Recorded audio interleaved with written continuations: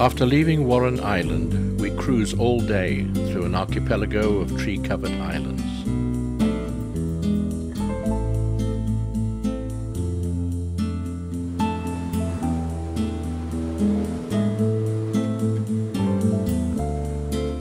In places the currents run strong, and Venture is buffeted by the swirly tides.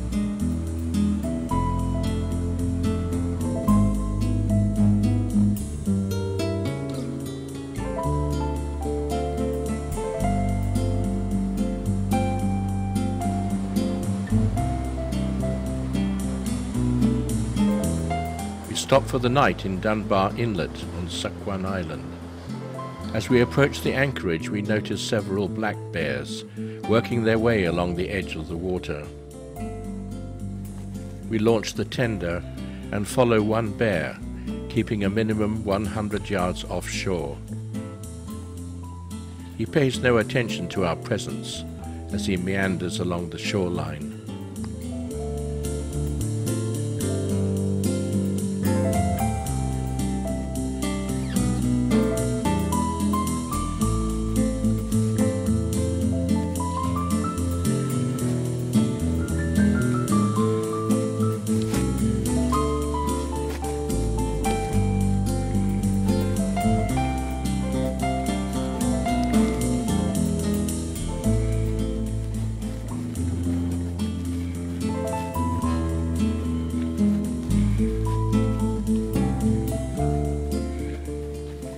This is a different bear, but he too is browsing on grass.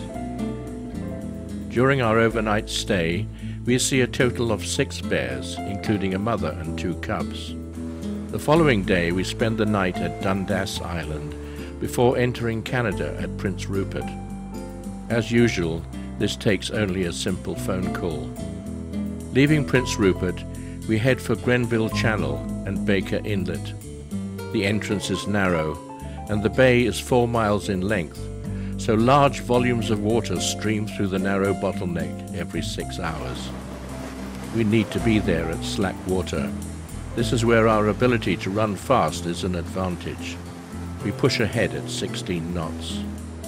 The narrow entrance is hard to spot and contains a dog leg, making it impossible to see whether it is clear.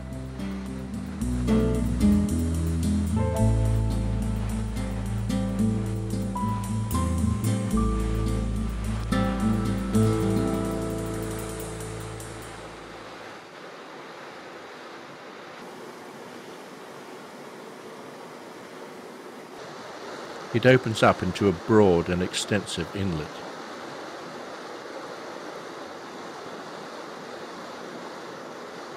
We pass a landslide, which are common on these steep hillsides.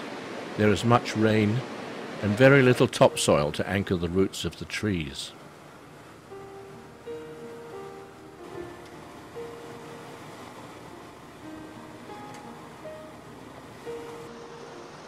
As we approach the head of the bay, we are treated to dramatic lighting effects.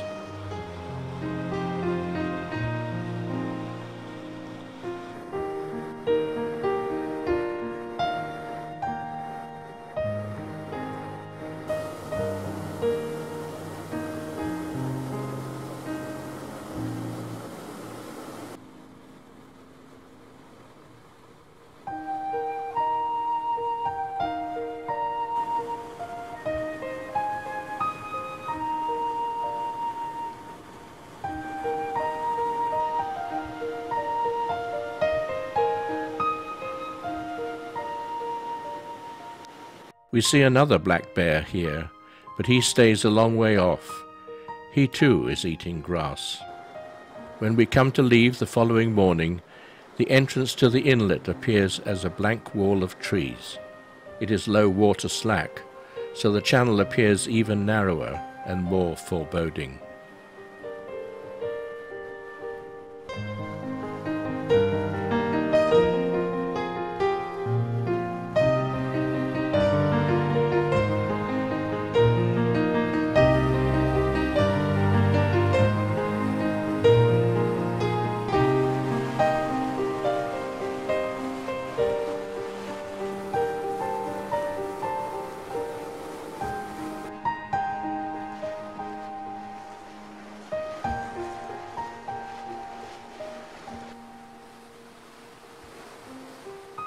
We continue down Grenville Channel, then divert from the inside passage and head west to Alston Cove off Laredo Inlet on Princess Royal Island.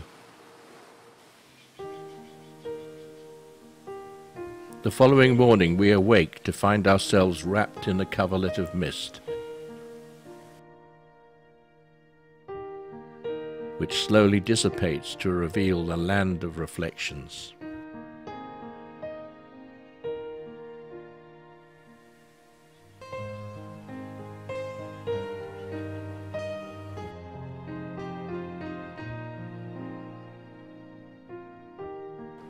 We cross Laredo Inlet to enter the Bay of Plenty.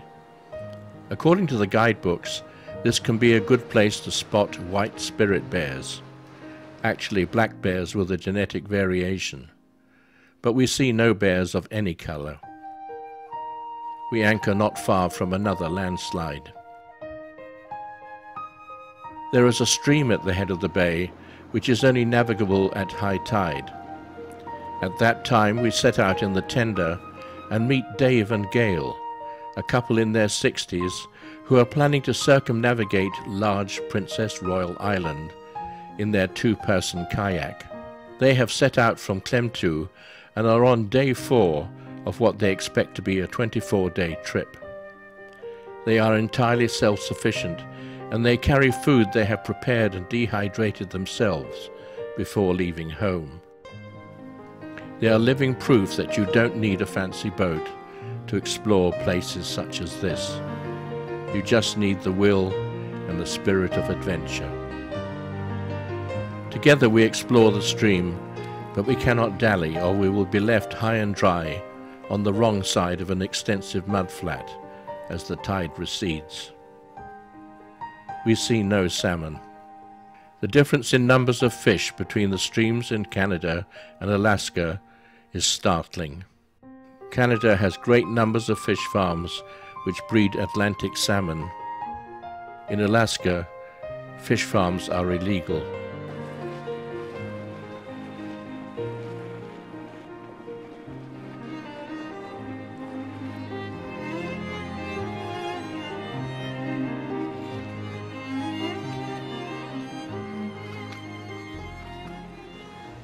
As we continue, we are dismayed by the decimation of the forest.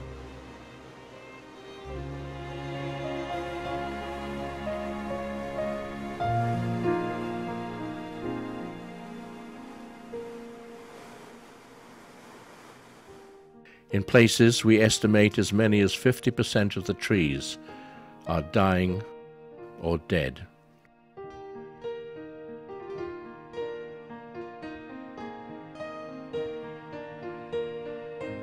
It is no use pretending that nothing is happening. The evidence is clear to see and very depressing. We enter Meyers Passage, which is another channel where tidal currents must be treated with great respect.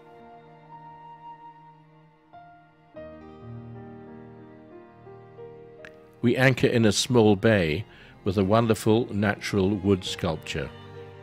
Our kayaking friends had told us about some Native American pictographs on a large rock face in Meyers Passage. In the evening light, I take the tender and photograph every likely place without seeing anything.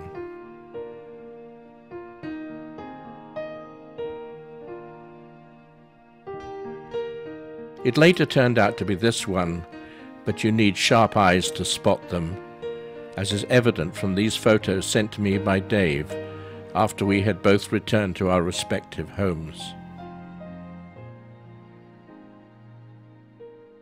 I have not been able to find out when these images were drawn and by whom.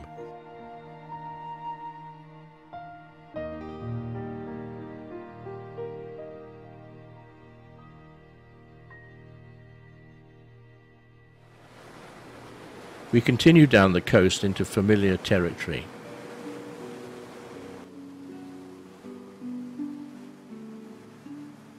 We cross the open waters of Queen Charlotte Sound and head to the Broughton Archipelago on the Canadian mainland. Here we spend the weekend in Pierre's in Echo Bay, where everything is floating. There are no pilings. This delightful resort has been run by Tove and Pierre for many years.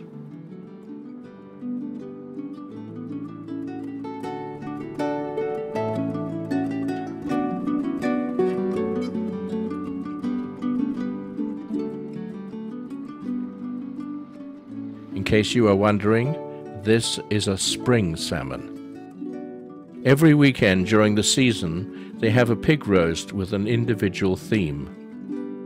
No prizes for guessing this one. Arr!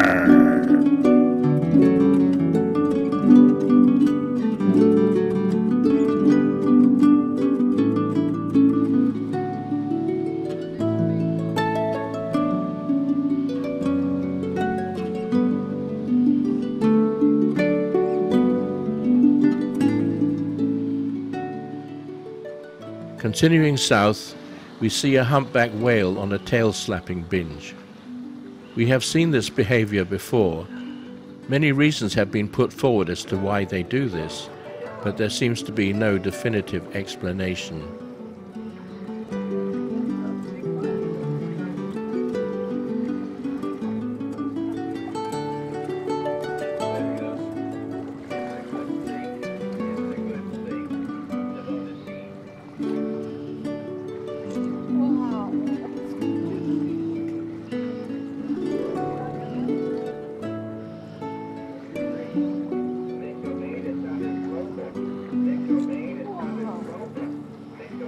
Many logs line the beaches, waiting to float off at the next spring tide.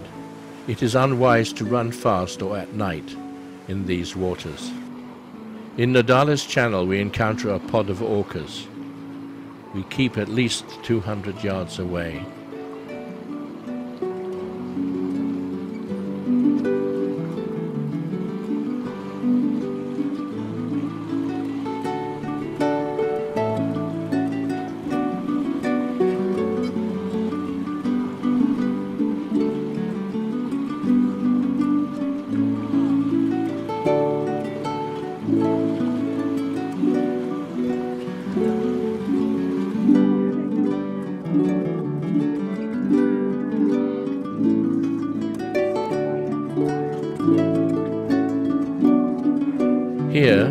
Come close to us.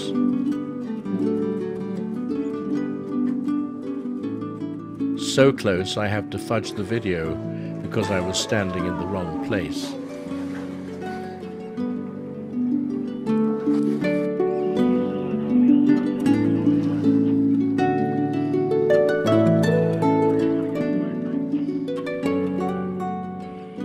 I close this video here with just 130 miles remaining from our 3,700 mile journey to and from Prince William Sound.